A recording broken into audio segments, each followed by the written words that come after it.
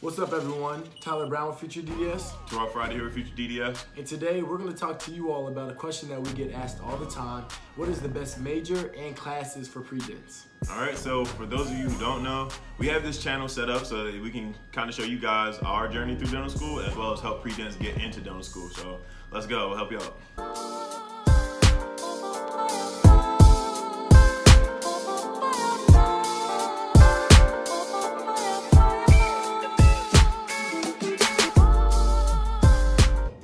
What is best major if you're trying to get into dental school? I mean, when we tell everybody, and I didn't believe it myself when, when I heard it, but it really doesn't matter. What did you say? Your major does not matter. What we mean by this is, as long as you complete the science prerequisites for the school that you're trying to attend, you can major in anything. You can be anything that you want to be. For example, I was a healthcare management major. And I was a psych major, so you could really be business major, a dance major, agricultural science major, poli sci major, business major, econ. It really doesn't matter. It really does not. As long as you're getting good grades in your major classes, as well as excelling in your prerequisite courses, you can really be any majors that you want to. Just take care of business. I've actually been told by people who are on admissions committees that if you don't have a typical science uh, major such as biology or chemistry, it actually looks kind of good. The fact that you could go and you could be a math major, excel in those classes as well as, of course, completing your prerequisites and excelling in those, it actually shows that you know you're you're a diverse applicant, and admissions love that. Yeah, so when they see this type of major on an application, you know, especially in, and you go for your interview and you're a very well-rounded person and you're able to see dentistry from another scope, it's kind of like they, I guess they feel like they hit a gold mine, you know what I mean? Like in Pursuit of Happiness, when he's like at the end, when he's like cla- clapping crazy. I feel like I feel like when you leave the interview, they're just on some vibe.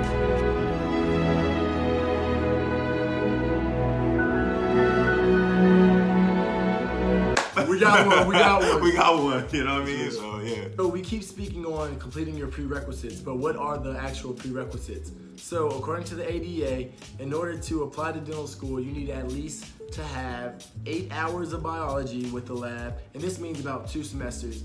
Um, eight hours of general chemistry with the lab, eight hours of organic chemistry with the lab, eight hours of physics, and eight hours of English. Now, depending on the school, these prereqs, they might change, and I mean, of course, they will because a lot of different schools will throw biochemistry in there or even throw anatomy in there, whatever it may be. But this is kind of like the standard must before you even think about taking anything else. You need to knock out these science classes. Schools actually might also say that uh, they have a list of recommended classes, but we'll talk about that a little bit later in the video. All right, so there's a few ways you can go about knocking out your prereqs. You can, uh, if you're really ahead of the game, maybe you come in freshman year, you can kind of kind of adjust your schedule to plan it so that your electives are going to take out your prerequisites. But if not, say for instance you get through dental school, or I mean if you get through an undergrad and you did choose a different major, you have a few options. You can either stay at your undergrad institution for maybe another year or two and get those classes under your belt, which is going to cost money, or you can go do a master's or a post-bac program and get another degree, which is which I think is advantageous. But you know, you can do that, which is also going to cost money. So at the end of the day, you're going to be you probably have to drop a little bit of money if you know if you're a little late to the game. But if you're able to hit it, you know, hit it beforehand. And you're able to get those classes in and work those classes in with your schedule, then maybe you, you might be able to knock it all out before and still graduate on time, you know, and be prepared for the DAT and get into school uh, on schedule. So, all in all, if you choose a major that's not science related, it's gonna cost you money. Yep. So be careful about like trying to take the discount route and maybe going to a community college or a local college to get your credits, because some schools may not accept those credits. So you know, definitely do research, hit up that admissions department, make sure that the classes that you plan on taking are going to qualify for the prerequisites that they require for you to get into the school. But if not, it's just going to be more money, more time, and you know, just another missed opportunity possibly. So just just cover your bases beforehand.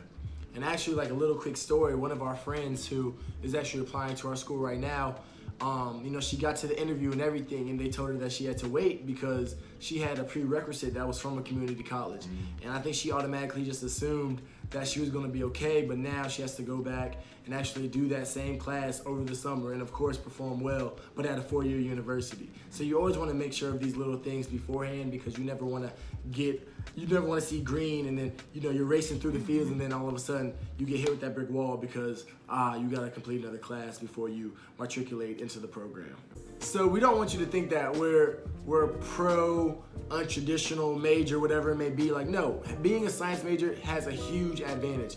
For example, I feel like science is kind of its own language. You know, like a lot of the information that we do learn is kind of overlapping, not really, but at the same time, learning that terminology and everything really helps in all your different classes. So if you've taken science classes throughout your entire four years, when it comes time for the DAT, you it's a little bit easier for you to study it because you've seen all of these things before.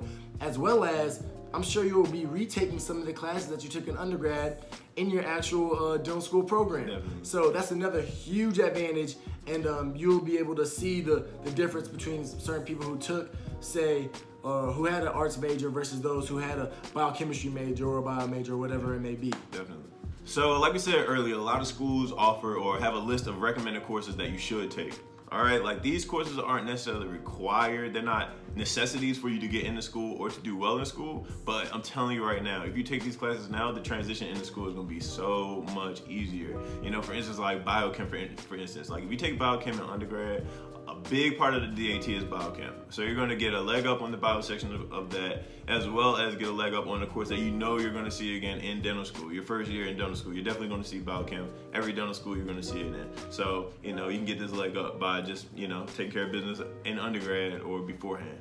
And if there was one class I recommend to everybody, everybody who wants to come to dental school, take anatomy. Oh yeah, definitely. Take anatomy. That is the, doubt. the heaviest course of your first year in dental school. Mm-hmm. And it will help you tremendously. Like you can literally see in the lab, you can tell the people who have taken anatomy Yeah. before and those who haven't. How can you tell? Because the people who have taken it before are coaching everybody else who has it. The language. It- It's it's it's ridiculous. You know, you definitely want to go ahead and get a head start on that because that can make or break your grade. I mean, at least at our school, uh, anatomy was like four credits, whereas Yeah. all our other classes were two.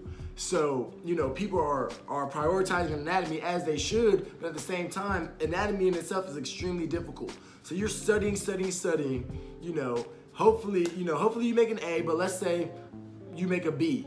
Okay, dang, you really worked hard for that B, but while you were working hard for that B, you see. all other yeah, all your other classes, all other all the other six or seven of your classes, you know, you, you like neglected slipping, those and they're just slipping. And these aren't easy subjects. You're still taking the biochemistries. Yeah. You're taking oh, human pathology, whatever it may Mine used to have to spend another four hours in operative lab just to get your hand skills right, you know. So it's like It- it- competencies, wax skills, you know. It's just like so much. It's a lot. It's a lot. So just make sure if you all take any advice from me as far as this class, for as far as these classes go, me and Terrell both. Anatomy. Anatomy. Anatomy. Anatomy. Anatomy. Add to that, if you have never seen a cadaver, go and get Rohen's. Rohen's is Oh, like a, a dissection book that has pictures of the dissected body and everything. And Man. that literally helps tremendously as well. You know, our master's program, we did take anatomy, but we had uh, plastic, plastic models. models, And so, you know, I came to school all, you know, confident, like, oh, yeah, yeah, yeah, we got this, we got this. Mississippi College.